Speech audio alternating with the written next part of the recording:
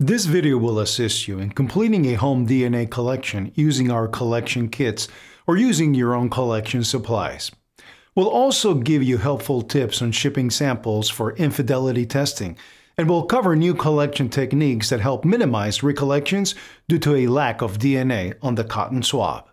First, you'll want to label your swab envelopes.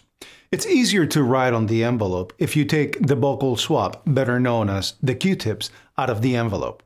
Be sure to use the appropriate envelope for each person tested. For example, child's envelope for the child, alleged father's envelope for the father, etc. Write in the requested information asked on the envelope. Next, you'll want to collect the samples. Don't worry, this part is easy and painless. Open the wrapper at the opposite end of the polyester tip. Remove one swab from the package and be careful not to touch the polyester tip. Be sure that your mouth is open wide. Insert a swab into the mouth and rub it firmly up and down inside the cheek for a full 30 seconds. Be sure to rotate the swab in efforts to collect cells on the entire swab tip. This helps reduce the need for recollection. Remove the swab from the mouth and place it directly into the paper envelope labeled for that person. The swab will be wet and will get the envelope wet, but that's completely normal and will dry within a few hours after the swab envelope is sealed. Contrary to some of your favorite television shows, the laboratory is testing the cheek cells on the swab, not the saliva.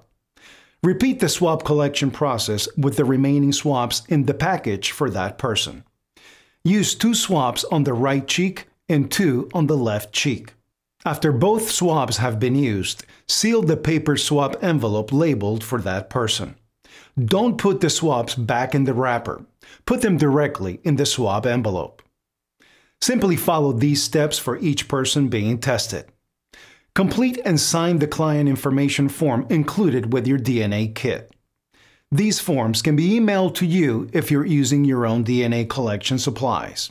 Lastly, the awesome thing about using FACEIT DNA technology for testing is that our test includes free overnight return shipping of your samples to the laboratory.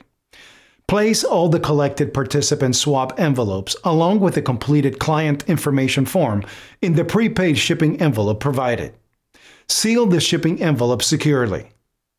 Depending on where you are located within the country, we may provide you with a UPS, FedEx, or United States postal label.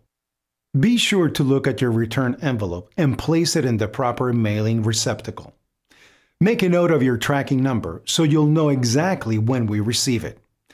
As far as infidelity samples, for example, undergarments, we treat these cases with utmost confidentiality.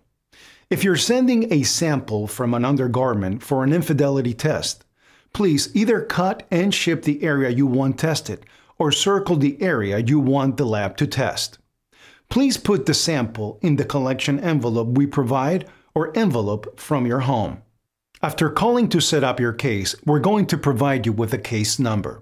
Please write this case number on the envelope you place the samples into. It's wise to put that case number on the front and back of the shipping envelope also.